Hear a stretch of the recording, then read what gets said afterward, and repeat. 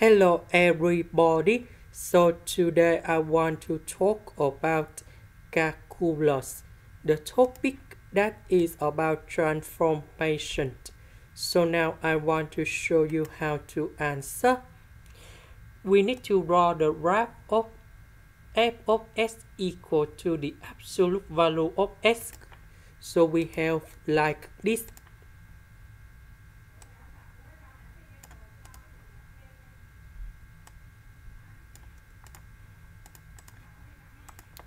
So if we look on the point of this one compared to this one, we can see that they go to the right one unit and they go down one unit.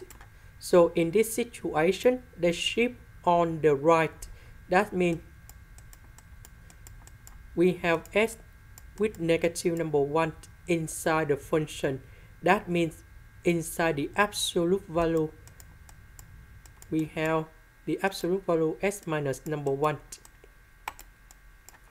So because they go down in one unit, that means we need to minus number 1 for the both side.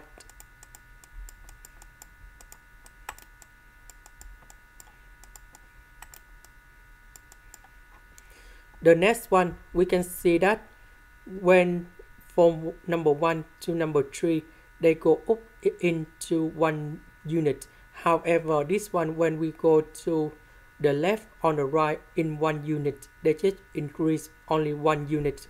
But this one we need to have two units that means they sketch about this absolute value in here.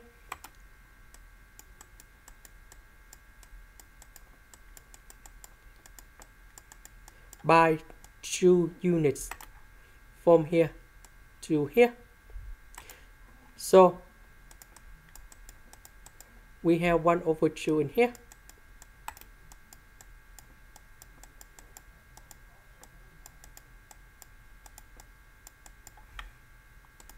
And this is the answer